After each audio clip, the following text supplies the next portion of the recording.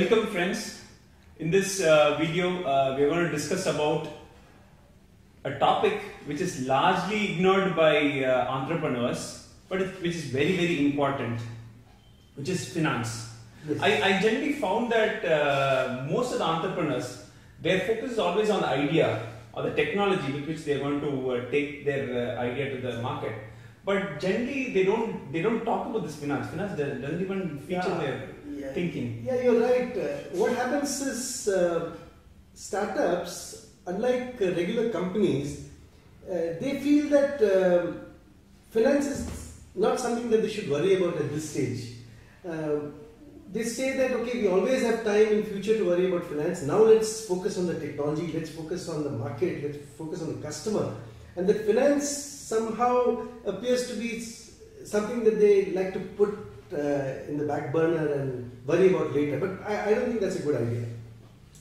Yeah, this is what, yeah, but some some um, uh, entrepreneurs what they say is uh, I'm a startup. For traditional business, I agree. Uh, I have cash coming in. I have a lot of expenses, so I need somebody to manage all this. But for a startup, I just have to focus on my idea. So, what is your uh, Yeah. See, this is the, the problem. You see, a startup, a, a company cannot be a startup forever, right? A startup is only a phase in a business. You have an idea, and then you have a phase in the business, what is called a startup phase, and very quickly the startup phase must shift to a regular enterprise. And what does an enterprise want? Or what, what is the enterprise purpose? The purpose of an enterprise, or any enterprise, whether it's large or big or tiny, is ultimately to make money or to add value so that you are able to create something which can be shared by the owners of the business and the other stakeholders of the business. So, finance is something that is as much relevant for a startup as for anybody else. It's just that during the startup phase, people feel that they should be focusing on other things other than finance, but startup phase is equally necessary for companies to focus on finance. Um, you know, you think about money as fuel. Just like any vehicle, it needs fuel at every stage, whether it's starting up or it's accelerating or whether it's moving very fast, it needs fuel. Similarly, a startup also needs fuel, and that fuel for a startup is money. Okay. That's a good analogy. So uh, now finance is a broad uh, term. What are the key elements that a startup should focus on? See, the, the key elements for any startup or for any business, and more so for a startup, is answers to two or three important questions. One important question is where does the fund come from or where does the money come from? This is one important question that needs to be tackled. The second very important question is how this money is getting used or what in industry is called the burn rate. How is it getting burned? And thirdly, which is the time when the organization starts generating its own funds, or rather the break even, the point where it starts making its own money and which can be plowed back into the company. So, so all these are the important elements of the financing of an enterprise that needs to be kept in mind by the entrepreneur. Okay, so uh, now uh, you mentioned about where the funds come from. This is uh, the question in most of the entrepreneurs' mind: where my money is going to come from. Can you please elaborate on that? Yeah.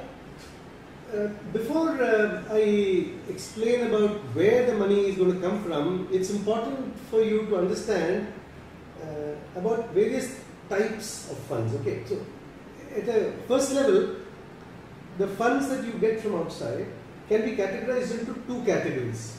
One, what is called debt, and second, what is called equity. Okay, very simply, debt is the loans that you take for funding your uh, enterprise. Right? Equity is the money that you get by way of investment. Okay? The, the essential difference between debt and equity is, in the case of debt, the person who's giving you money is giving you a loan, which means that he expects you not only to pay him interest, but also to return the money to him. Right? On the other hand, if a person comes and gives you equity, he's doing is he's telling you that I'm going to share the business with you, which means that he's sharing the risks of the business, which means that if the business does not do well, you're not obliged or give him the uh, the original money that he's given you. Of course, you will think then that uh, it's much better for you to take equity, right? That's how it sounds, yes. That's how it sounds, right? But but you see, life is not so easy. Now, in the case of debt, you're just expected to give the interest, which could be 10%, 12%, and return the principal, which means if I borrowed a million dollars, right, I just have to pay back the million dollars with interest. That's it. On the other hand, if I have borrowed a million dollars from somebody and I've given him 15% share of my business, Yeah. right?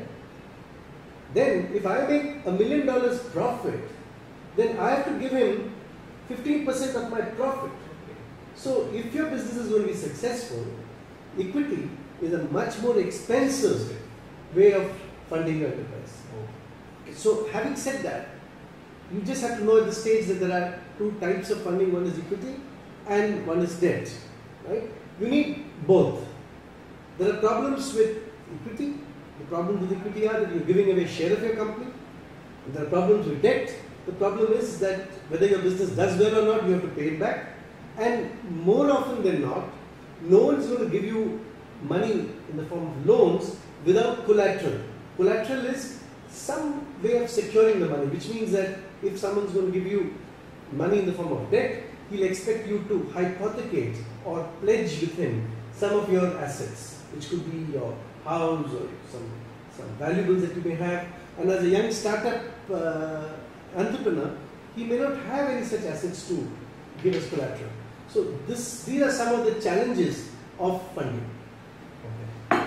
Now, another interesting uh, thing that you mentioned is uh, when to take the finance. I always, uh, I never thought this would be a question because I always thought the earlier I get the money, I can proceed with my idea. With your fuel analogy, I thought uh, the moment I get my fuel, I can throttle and uh, No.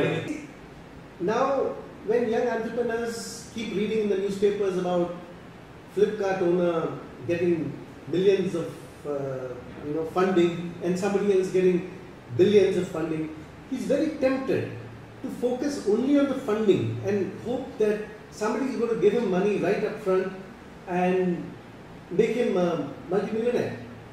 But the entrepreneur has to remember that the guy who's funding him is actually looking for a company which he expects is going to grow and make money for him. Right? So there is an issue of timing. The earlier you go for funding, the less you or the investor knows about the business, and therefore more of your company you'll have to give to him as his share. So there are certain stages of funding. Uh, there are some names for it. It's it's a good time to talk about those names. The initial part of the startup where you don't take anybody else's money but you use your own money or your family's money is known as the bootstrapping stage, Okay. wherein you use your own funds to run the company. Uh, my strong advice would be that um, you should try and use bootstrap funding as far as possible. Because if you're able to use your own money and show results by way of a product or customer or repeat business, and you've not taken anybody else's funds, then you're in a much better position to negotiate a good deal for yourself with funding that will come to you later. Now, after the bootstrap stage, then you're at a stage where you really need money to take it to the next stage of maybe expanding markets or getting new customers or really developing your product further, you may really need funding. So at this stage, the choice for you is to go to a high net worth individual, a guy with uh, money who wants to invest in new businesses, and these people are called angels. Or there are even investment firms who may do seed funding or angel funding at this stage. So this is called seed funding or angel funding stage. Then the next stage of funding is the company has moved further, it has got a right product, it has got good customers, repeat customers. It has reached a stage where things are fairly stable, and now you need to grow. You need to maybe expand into new markets. You're, you're working in one particular geography, you need to go to other geographies, or you have one type of product, you want to have more products, you want to have more customers, you need to hire more uh, staff to market your products. At this stage, you need still more funding. So you go to again uh, somebody called a VC or a venture capitalist uh, fund, which will give you what is called Series A funding. Series A funding is again a very large amount of uh, funds, which is given to you for scale up. Then you have also Series B funding, which is to take it even to larger levels. For example, suppose you are operating in a particular country, you want to go, go international. Then you may go for Series B funding, and similarly Series C funding, and finally, the all the people who have invested in your company, your angel or your seed funding person or your VCs, they want an exit option. The exit option is what is called an IPO Okay. or an initial public offering, wherein you offer the shares of your company to the general public. And if that happens, then everybody makes money. Yeah. Good, good. We had this uh, discussion today. Even I was of, also of the assumption that finance comes last. Now that I realized uh, finance should start from the time when my idea starts. Exactly, exactly. And, and not only that, um, there's another aspect of finance which I want to bring to your attention. Um, many technocrats, because they don't understand finance, uh, they tend to postpone uh, decisions on finance, number one. And secondly, even when this company is running, they would rather have some chartered accountant or some finance person handle the finance part of uh, Yeah. the enterprise. But uh, this is again an area which I think uh, I'd like to caution uh, young entrepreneurs about. See, remember that an entrepreneur, the moment he starts a business, he stops being a technocrat, right? He's a businessman. Yes. And therefore, he has to understand the language of money. Money and finance has got its own, uh, you know, language. There are some important financial statements that every business, small or large, have to generate, which are the balance sheet, the profit and loss account, or the income statement, and the cash flow statement. These are essential documents, and these documents, if understood, uh, tell you pretty much everything that you may want to know about a company. Right? So, uh, my strong uh, advice to young entrepreneurs would be don't give this responsibility of creating and understanding these documents to somebody else. Learn it yourself. And it's pretty simple. If you know how to add and subtract, uh, you should be able to understand what a balance sheet is all about. Right? And as a businessman, you have no business to get into business if you don't have the time and patience to understand these things.